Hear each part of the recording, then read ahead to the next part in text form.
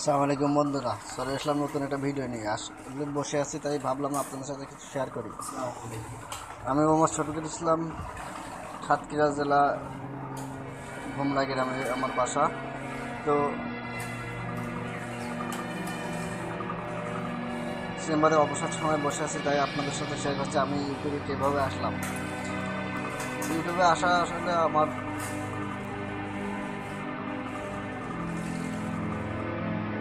আমি যখন অবসর টাইমে বসে থাকি, তখন ইউটিউবে ভিডিও বানাই। তো আমার ভিডিওগুলো যদি ভালো লাগে, অবশ্যই আমার চ্যানেলটি সাবস্ক্রাইব করবেন আর পাশে থাকবেন। তো আপনারা যদি আমাকে সাপোর্ট করেন, তাহলে অবশ্যই আমি এগোতে পারব। আপনি যদি সাপোর্ট না করেন, তাহলে আমি এগোতে পারব না।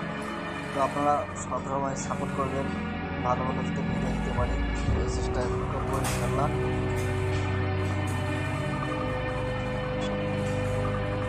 Bu arabası medya tutuklarından Avrupa Kutuları'nın apışa